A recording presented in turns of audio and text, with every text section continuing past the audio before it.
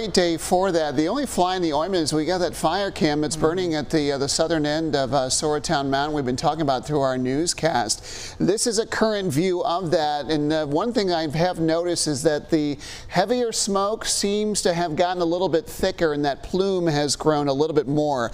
I we, this was in, in view of our our Sauratown Mountain. We have a transmitter up there, and that's why we have these wonderful pictures we can bring to you of this. I kind of look back at a time lapse of when this first started, and this is about started about 8 o'clock this morning. You can actually see some very light smoke beginning to develop on the site where the fire is currently burning.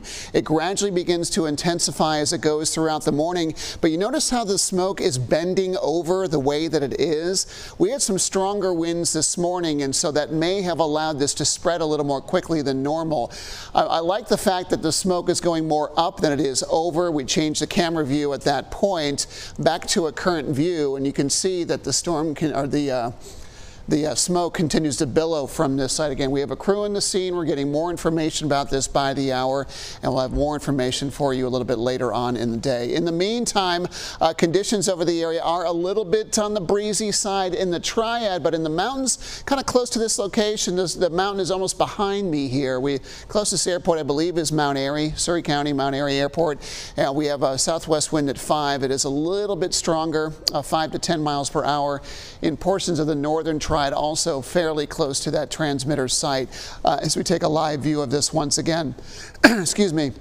We do have blue skies in the forecast today. Temperatures are warming up. Of course, leaves have been falling. There's a lot of litter on the ground, and that does add to the concern factor, of course. Uh, temperatures low to mid 70s right now. We're warming up uh, a little more quickly than we anticipated. We're actually raising highs in the mid to upper 70s this afternoon. Around 3 o'clock is when I have our high pegged around 76, maybe 77 degrees uh, at the airport this afternoon. Southwest winds occasionally get over 10 miles per hour.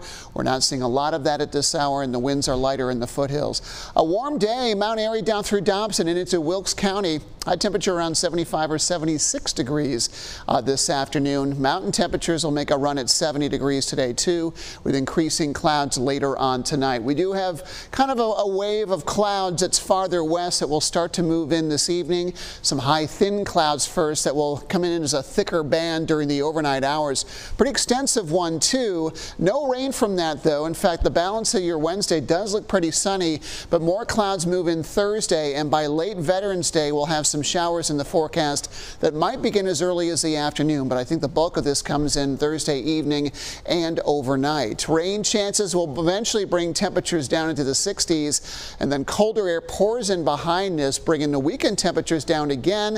Should be a breezy weekend with highs in the low to mid 50s.